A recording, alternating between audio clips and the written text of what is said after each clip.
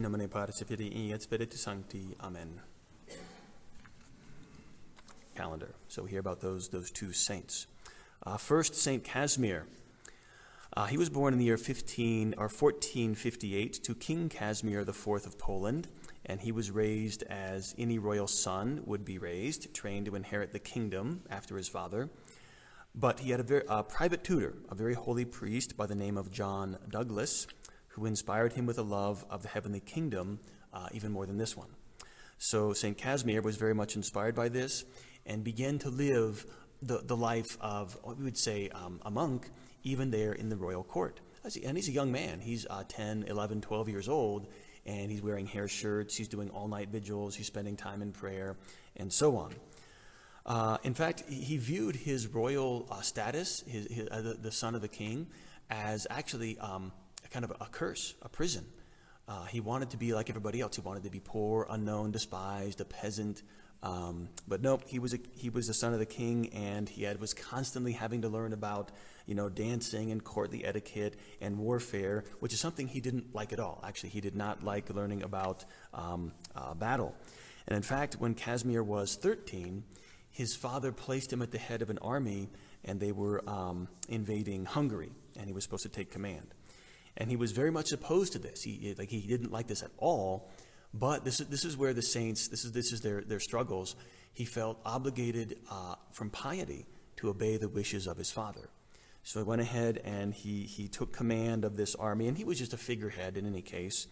Um, but the campaign failed, uh, actually, and the troops deserted, and it was just, it was disarray, and St. Casimir comes back in disgrace. And his father puts him in prison, locks him in a tower for three months. And St. Casimir, uh, this was a vacation for him. Like he loved it.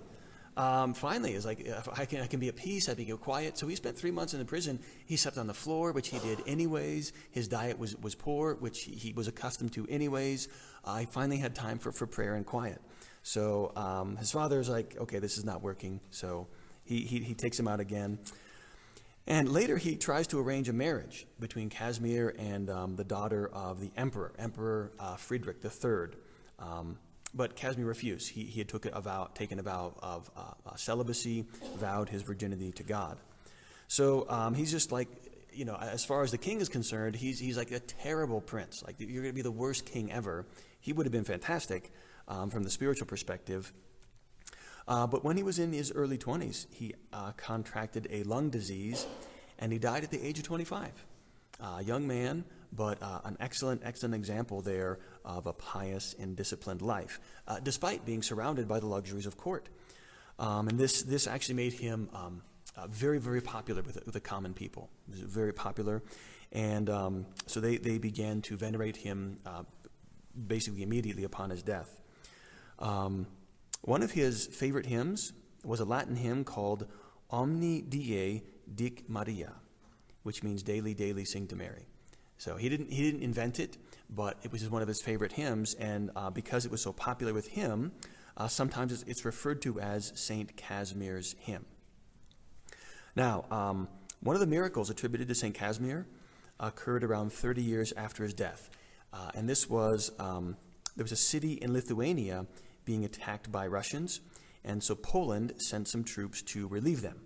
Uh, so, uh, and remember, Saint Casimir, he was he was a, a Polish saint, right? He was a prince of Poland. So Lithuania is being attacked by the Russians. Poland is sending troops to relieve them, and these troops come up upon a, a wide river. They can't cross. Uh, they had an apparition of Saint Casimir, and he showed the Polish troops where to go. Uh, they crossed the river. They relieved the city there in Lithuania, and the Russians uh, abandoned the attack. For this reason, St. Casimir is the patron saint of Lithuania. So he, he's, not, he wasn't Lithuanian, but because of that, because of his intercession, the Lithuanians took him as their patron saint. And every year in Lithuania, they have St. Casimir's festival. And that's going to be this coming weekend, uh, the 5th, 6th, and 7th, right? Hopefully that, that doesn't get ruined by COVID. Uh, but they have pastries, they have a festival, they have a fair, and it is for this Polish saint. Uh, so quite um, uh, the, the, influence. We see that, right? what do we say that? Um, uh, the Catholic Church is multicultural right? There's a big, big term these days, but we see it right there. And the Catholic Church is very much against um, warfare, right? There's a, there's a, just war, but it needs to be um, uh, proportionate. It needs to be for a good reason. And so we, we St. Casimir there uh, God bless you all. In the name of the Father, Son, and the Holy Ghost. Amen.